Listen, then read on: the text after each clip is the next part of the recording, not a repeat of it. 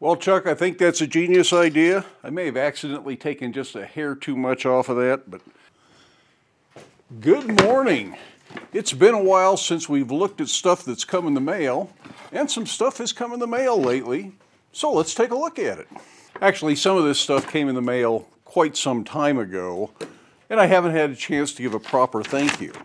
First thing I want to look at comes from Ron. It's a photograph that he took in 1977, and this is from the town of Columbia in California Gold Country. So this is a historic site. Hopefully you can see that image. There's a blacksmith with a wagon in the background. So pretty cool picture, and I think this will either hang in my downstairs office or when I get the office up here in the shop done, maybe it'll move up here. But until then, it'll live in the house. So thank you very much, Ron. I appreciate the photo. It's also dusty.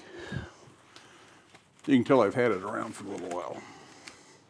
And there's a Christmas card from Kevin. It said, really enjoy watching your YouTube videos. I have learned a lot from watching them. Happy holidays. Well, happy holidays and Merry Christmas, Kevin. This one is from James. he said it would come wrapped in duct tape, and he wasn't kidding.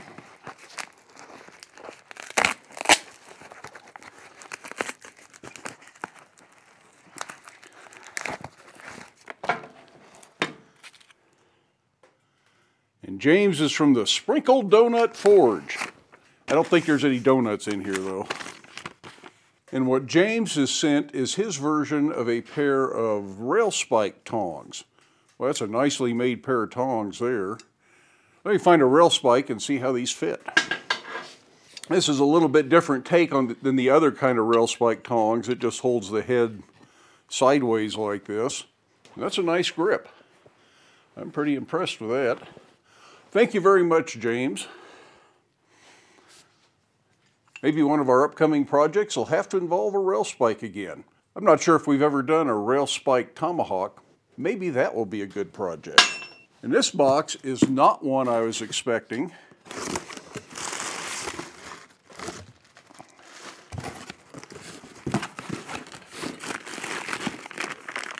There's some bits and pieces here.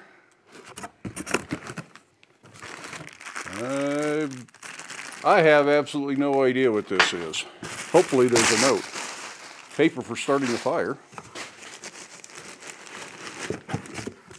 There's an envelope. If there's an envelope, that implies a note. And there's a clamp. I'm now very intrigued.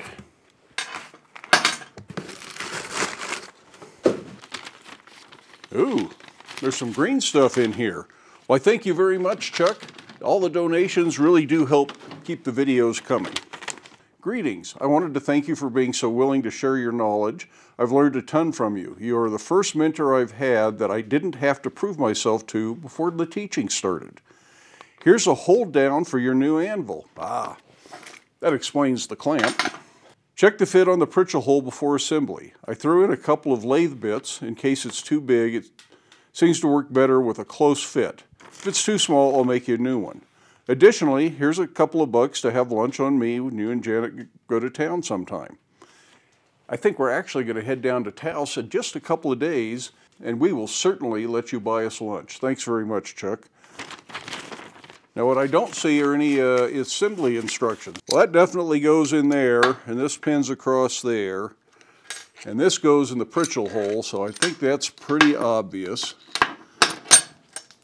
But to be honest, I have no idea what this piece does. It's got a little spring retainer in there. You may have to explain some of this to me, Chuck. I may be too dense. This looks like it goes in the Hardy hole. But I don't know if that's just a an adapter to use the Hardy hole for a different kind of hold down or, or what the case may be. Let's go over to the anvil, see if we can figure this out. By the way, Chuck, James, if you are selling these things and you want me to post your information, let me know down in the comment section and leave a contact email or a website address. I'll put that in a pinned comment, but I'm not going to share your information unless I know that you actually want me to. Now I bet this piece goes in the hardy hole there. And I'll bet it'll fit a regular holdfast. I can't find my old holdfast, but that's the same size. So I'll bet you that will give me just what I need to use a regular holdfast. Still don't know what that is. And that is just a little bit tight. So that's going to need to be turned down a little bit. So I'll put that in the lathe and do my best to do that.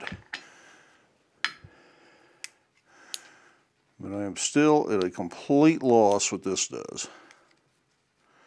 It doesn't fit there, doesn't fit there. Does it go on here? Ah, I see. That goes on here, and that gives you an adjustable clamp for uneven stuff. You're pretty smart, Chuck. Let's go turn this.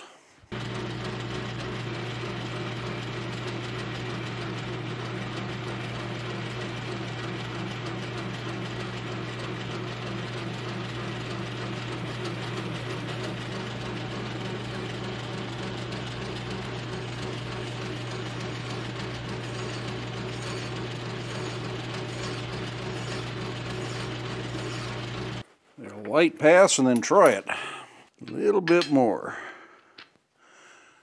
I'm not sure that Pritchel hole is perfectly parallel either, so I think I'll probably end up taking a little bit more off the leading edge there. Hopefully I didn't take too much off.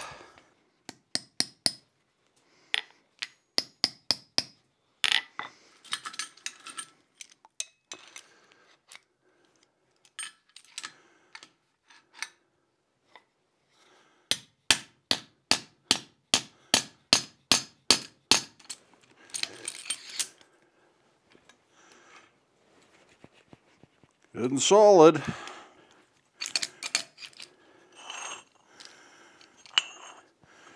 Gotta leave the head of the railroad spike hanging over the edge of something there.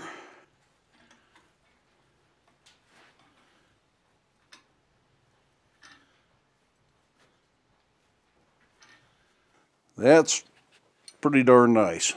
Well, Chuck, I think that's a genius idea. I may have accidentally taken just a hair too much off of that, but it seems to be working okay, so I'm not going to worry about it. Really simple, just fits right in there. So if anybody's got a Fontanini anvil and Chuck is selling this device, you might want to get a hold of him. Look in the pinned comment, and if he's not selling it, maybe he doesn't mind if you use his idea. But that's really quite solid. Almost every anvil hold down is going to pivot a little bit right under the clamp it's just fairly typical, but it keeps it from bouncing off. The only other thing to try out is this adapter for the Hardy hole, and I just cannot find the holdfast that I used to use at my old anvil. I don't know if they're out in the shipping container in a shed. I doubt that I put them in a scrap bucket because they were still good, useful tools. I just hadn't taken the time to figure out how to adapt it. Apparently, the solution's quite simple. But I am making holdfast today, so I'm going to go ahead and make one for this and then we'll try it out.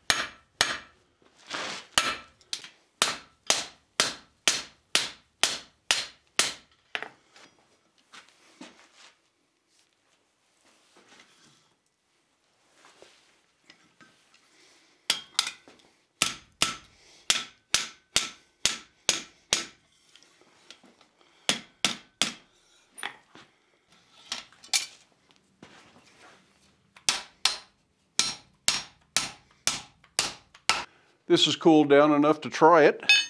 Let's see if my guess is correct.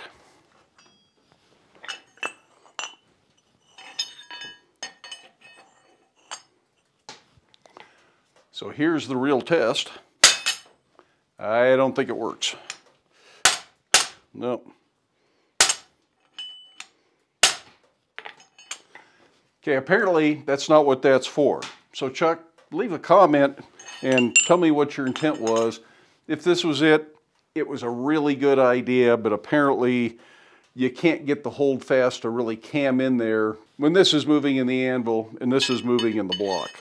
The fit's about right though. It's about a 16th inch loose and that's the way I usually make my hold fasts. But I think it was a great idea if this is what your idea was, but sometimes great ideas don't pan out. It was, on the other hand, a good place to put this to shape the bend. So it's very useful for that, and I'll continue to use it for that purpose.